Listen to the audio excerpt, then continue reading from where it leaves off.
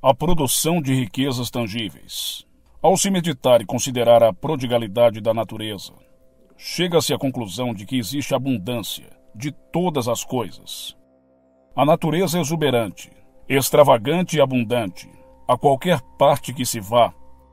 Adquirimos consciência da grandeza e da sua exuberância. As leis da vida visam a proporcionar-nos riquezas ilimitadas, muito superiores às nossas necessidades do dia a dia. A Bíblia diz: A Deus pertence a terra e a sua plenitude. Está em Salmos 24, primeiro. A carência existe apenas em consequência da avareza, do egoísmo, do medo e da má utilização dos recursos da natureza pelo homem. Pois quando são usados métodos sábios e justos no seu cultivo e distribuição, há sempre mais do que suficiente para todos, em riquezas tangíveis da vida. Há muitos anos atrás, eu tive uma conversa bem interessante com um dentista de Sydney, na Austrália, onde eu me encontrava fazendo uma série de preleções sobre o tema Os Milagres do Seu Subconsciente. Aquele dentista me declarou naquela oportunidade que no início da sua carreira possuía uma mente de tostões em consequência, somente atraía clientes com a mesma mentalidade, dotados de situação financeira das mais modestas. Vejamos como introduziu riquezas tangíveis em sua vida. Certa noite, ao voltar para casa a pé, após a minha preleção, sobre a força da imagem mental, ele começou a imaginar que todo o ar à sua volta estava inundado de notas de libras esterlinas. O ar lhe parecia estar saturado delas, ele me confidenciou que essa imagem era tão real e vívida como as árvores existentes do lado de fora da sua casa, e que começou a encher os bolsos com notas imaginárias, de todos os valores. Tudo o que lhe aparecia absolutamente real e tangível. Subitamente ele concluiu que havia riquezas sem limites, que podiam ser atraídas e possuídas por todos aqueles que tivessem fé receptividade e imaginação para considerar a existência das riquezas de Deus. Após essa experiência, aquele dentista atraiu uma clientela de pessoas prósperas e de prestígio, passando a ter mais clientes do que poderia atender. A sua atitude mental anterior, estreita e de frugalidade excessiva, mantinha à distância os clientes que dispunham de boa situação financeira ele descobrira finalmente o poder da sua imagem mental para produzir riquezas de todos os tipos. Um certo modo de pensar. Se você, por exemplo, deseja um piano, não quero dizer que tudo o que tem que fazer seja formar mentalmente uma imagem do instrumento, para que prontamente tome forma e apareça em sua sala. Caso você tenha dinheiro, tudo o que tem que fazer é comprar um Suponha, entretanto, que você necessita de um piano para estudar, mas que não dispõe de dinheiro para comprar ele. Pense então em um piano lindo. O imagine em sua sala. Passe as mãos sobre o teclado. Sinta a sua solidez e a sua tangibilidade. Passe uma vez mais as mãos sobre a superfície e pense de forma positiva que o piano já está ali. Ele está realmente em sua mente pois antes de se tornar um instrumento físico, existiu primeiro na mente do seu fabricante. Após formar em sua mente a imagem do piano, considere-o como seu. Convença-se de que seu subconsciente fará o que for necessário para que, de acordo com a divina ordem, venha se tornar uma realidade. A inteligência infinita existente no seu subconsciente atuará sobre a mente dos outros fazendo com que o piano venha a ser seu, sem que você saiba como. O pensamento foi a origem da criação de todas as máquinas e instrumentos do mundo e está constantemente criando milhões de outras coisas. Novos carros, novas máquinas, computadores, rádios, televisores, instrumentos musicais e vários aparelhos de todos os tipos. Todas essas invenções, descobertas e melhoramentos foram produzidos pelos homens, mediante um certo modo de pensar. O milagre da imaginação. Em 1944, uma pequena menina espanhola morava a pouca distância de mim. Eu conhecia bem sua família e, de vez em quando, eu ia à sua casa visitar seus pais. Ela havia feito oito anos e frequentava todo dia a escola paroquial daquele lugar. Há meses aquela menina vinha pedindo a seus pais uma bicicleta para passear no Parque Central. E a resposta constante da sua mãe era essa: Ora, deixe de me aborrecer. Você sabe que estamos em guerra e que por isso não há bicicletas no mercado. A menina, entretanto, insistia no pedido, apenas para aborrecimento dos seus pais. Era uma menina forte e disposta, que vivia brigando com os meninos da vizinhança e que, vez por outra, arranjava um olho roxo. Uma vez eu lhe disse: Mary, você pode conseguir a sua bicicleta e eu sei como. Os seus olhos começaram imediatamente a brilhar e ela, muito tensa, me perguntou: Como? Eis a conversa que tivemos. Eu disse a ela: Vá imediatamente para a cama, feche os olhos. Imagine então claramente que seus dois amiguinhos estão andando na sua bicicleta no Parque Central e veja eles bem risonhos. Deus deseja que você divida a sua bicicleta com seus amiguinhos, para fazê-los também felizes. Mary disse: Está bem. Se é isso que Deus deseja que eu faça, eu estou de acordo. Mas mamãe me disse que Papai Noel não poderia trazer-me uma bicicleta no Natal. E faltam apenas duas semanas. Então eu respondi: Faça como lhe disse. Quando estiver na cama, Feche os olhos. Imagine-se andando de bicicleta no Parque Central. É importante que você também veja os seus amiguinhos andando na bicicleta, como eu já lhe disse antes. Veja eles rindo e cheios de alegria. Você vai ganhar a sua bicicleta. Deus vai dizer a Papai Noel onde pode encontrar uma. Agora vá dormir e durma um sono bastante profundo. No dia seguinte, ao entardecer, por volta das seis horas, Merrick se encontrava numa loja de artigos variados, em companhia de uma outra menina. Começou subitamente a chorar. Uma senhora que estava próxima, observando aquele fato, lhe perguntou suavemente: O que houve, minha menina? Alguém te machucou? Mary lhe disse: Não, senhora. Mas ontem à noite um homem esteve em nossa casa.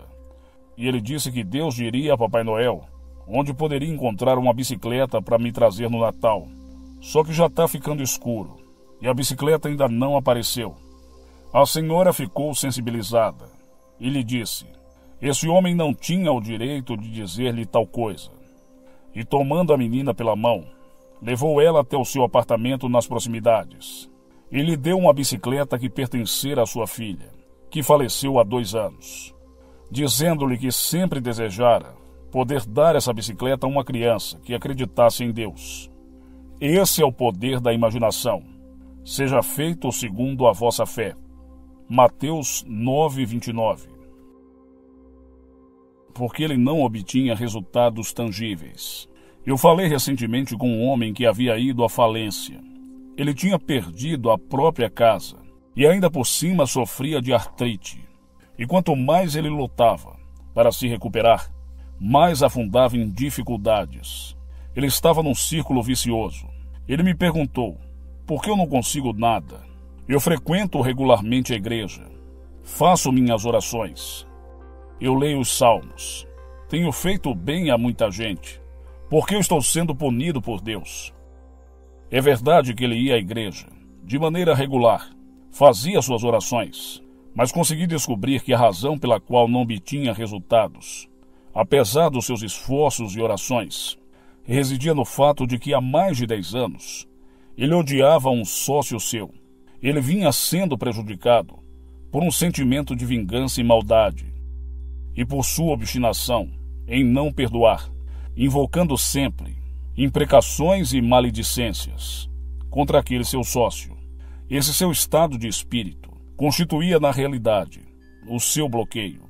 Eu fiz-lhe ver que seus pensamentos com relação ao sócio por serem de ódio, de vingança, de rancor, geravam emoções negativas no seu subconsciente, que necessitando de extravasamento, o fazia sob a forma de limitações e deficiências, que se manifestavam finalmente como doenças e através da falência. O remédio para essa situação foi fácil. Consistiu em buscar sintonia com a paz interior de Deus e no reconhecimento de que a sua sabedoria, existente em seu íntimo, iria proporcionar uma recuperação divina, sob a forma e na oportunidade de sua escolha. Ele depositou suas esperanças em Deus, a fonte inexaurível, origem de todas as coisas, e começou diariamente a abençoar o homem, que odiava, e proclamar-se como um elemento de Deus, difusor de paz, saúde, harmonia e abundância. Em poucos meses, a situação modificou-se completamente. Mudou tudo para melhor. E ele passou a sentir-se como se estivesse na crista de uma onda que o conduzia para o sucesso, a prosperidade e a consecução dos seus objetivos. Três palavras produzem riqueza. Uma atriz de cinema me disse ter obtido resultados maravilhosos. Após haver afastado da sua mente as más ideias e os pensamentos nefastos que frequentemente a povoavam. Para isso usava com convicção as palavras alegria, sucesso, riqueza, adotando o hábito de murmurá-las para si própria, enquanto arrumava a casa. Após a repetição dessas palavras, durante 10 ou 15 minutos, ela se sentia reconfortada e com sua mente estimulada. Desde então, sempre que se sentia deprimida, por causa das finanças ou falta de contratos, começava a cantarolar repetidamente aquelas três palavras.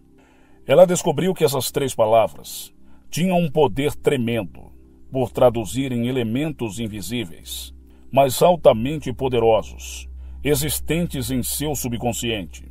Em vista disso, fixou a mente em suas formas materiais, fazendo com que, afinal, viessem a se concretizar em sua vida nunca deixou de ter um contrato nos últimos oito anos, sempre indo de um sucesso para outro.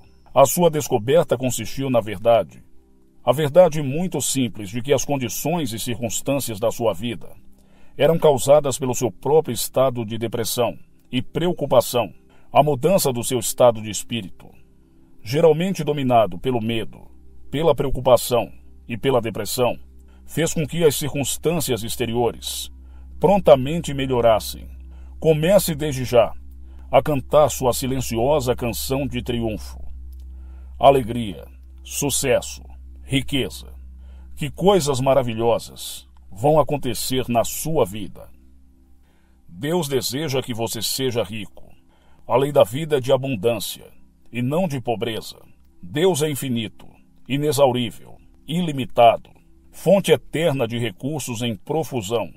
Você dispõe de um elemento de apoio infinito, pois sendo os recursos de Deus infinitos, os seus também o são.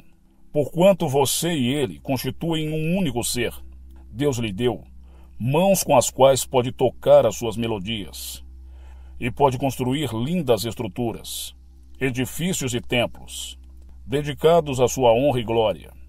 É desejo de Deus que você demonstre os seus talentos de uma forma maravilhosa. Deus te dotou de voz, para que você cante para todos canções de amor, e de olhos para que possa ver línguas em árvores, sermões em pedras, canções em córregos, e ele em todas as coisas. O seu desejo de dançar é uma forma encontrada por Deus para revelar-lhe que o universo é uma dança de forças e que todo o mundo é uma dança de Deus. Seu desejo de pintar um lindo pôr do sol traduz a expressão através de você da beleza indescritível de Deus. Seus ouvidos lhe foram dados para ouvir a música divina, e sua voz, suave e firme, foram dados para ouvir a música divina e para ouvir dizer-lhe: Esse é o caminho, siga por ele. O seu desejo de viajar e de explorar o mundo Traduz a vontade dele, traduz a vontade de Deus, em fazer com que você conheça e explore as suas maravilhas, a fim de apreciar a beleza, a ordem, a simetria, o ritmo e a proporção de todas as coisas. Deus deseja que você seja feliz, jovial e livre, que viva numa casa cheia de conforto e que se vista de maneira elegante. Ele deseja que você tenha uma vida gloriosa e triunfante, porque Deus é o que realiza em vós o querer e o executar. Filipenses 2:3. Segundo nos diz São João, o desejo de riqueza que você possui é a revelação infinita de suas riquezas e de suas palavras. Filho, tu sempre estás comigo, e tudo o que é meu é teu. Lucas 15, 31. Vamos pensar nessas coisas. Primeiro, a natureza é exuberante, extravagante e abundante. As leis da vida visam a proporcionar-lhe riquezas ilimitadas. 2. As pessoas dotadas de atitude mental estreita e frugal atraem aquelas que possuem um complexo da pobreza e jamais ficam ricas. 3. Pense claramente no objeto que deseja. Veja-o na sua sala e com mãos imaginárias. Procure sentir a sua solidez e tangibilidade, que isso vai se tornar realidade. 4. Quando se aceita mentalmente alguma coisa como verdadeira, o subconsciente faz com que ela venha a se concretizar, sem que se saiba como. Por exemplo, da mesma forma que uma pessoa totalmente estranha deu uma bicicleta de presente a uma menina que rezava para ganhar uma. 5. Pensamentos de ódio, rancor e vingança bloqueiam os seus desejos de riqueza, pois fazem com que a riqueza se afaste de você, ao invés de atraí-la. Deseja a todos aquilo que deseja para você mesmo. Esse é o segredo para a obtenção de riquezas. 6. Existe uma fórmula para fazer uma fortuna de milhões de dólares. Reitere essa verdade com sentimento, convicção e persistência, e terá todas as riquezas de que necessita durante toda a sua vida, além de prosperidade superior a todas as suas expectativas. 7. Há três palavras que realizam maravilhas. Cante-as e escreva elas no seu coração: alegria, sucesso, riqueza. Elas são verdades de Deus e também são verdadeiras para você. 8. Deus deseja que você seja feliz, rico, jovial e livre, também que tenha uma vida da maior abundância. Em Deus há plenitude de alegria e ausência absoluta de escuridão.